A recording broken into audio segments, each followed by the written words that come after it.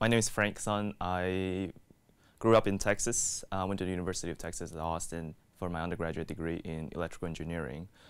Um, and then I went to the University of Washington for my master's degree in electrical engineering, which upon return to the United States, I will continue with my doctorate uh, research. I came to Belgium on a Fulbright grant. Um, originally, the Fulbright grant idea started when I was still in undergrad, but uh, kind of got put on hold once I got into graduate school. Then the, the idea never went away, and I really wanted to experience life in a different country or a different continent altogether because I spent my childhood in Taiwan and then my teenage years in college in the States. Um, those experiences made me very curious about life in different places. Um, I would like to, you know, the idea was I would like to get a comparison of what it's like to live in Asia, to live in like America, and to live in Europe. But while I still do something useful for my uh, educational career. So Fulbright serves those two purposes very well. It allows you to uh, spend some time abroad, but also to continue with your research that's relevant to your degree. So, um, uh, and I'm very lucky to um, have the opportunity to receive this uh, scholarship to come to Belgium.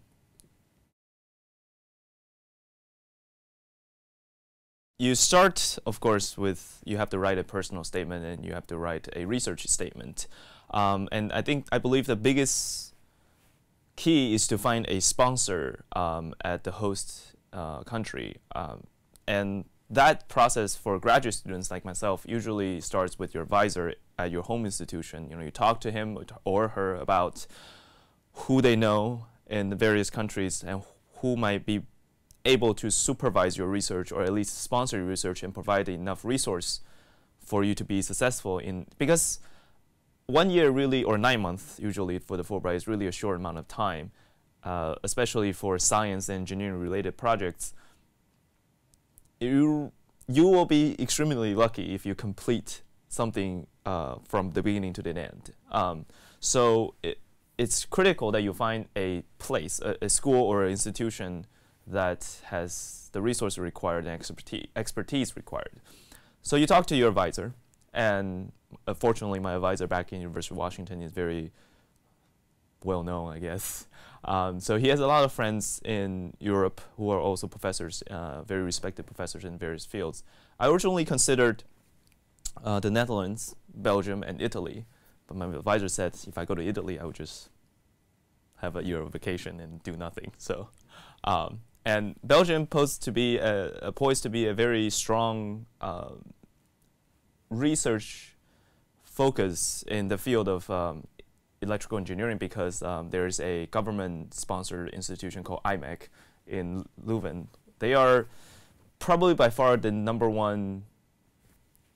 I wouldn't call them a government affiliated, but research institution in Europe for semiconductor um, research. So once I locate uh, my sponsor at the Catholic University of Leuven, then it begin with devising a research proposal that is reasonable for the duration. I, I believe the Fulbright committee, when they reviewed the, um, or at least in the outline of the instructions, says it's very important that you tell them how or what you're going to do and how you're going to do that in nine months. So that's that's, I think, one of the most critical elements is you can't just say I want to do X, Y, Z, and not tell them how you're going to do it in the appropriate amount of time. Then comes to the personal statement. I think the personal statement is very you, you, you have a lot of room to be creative in that area.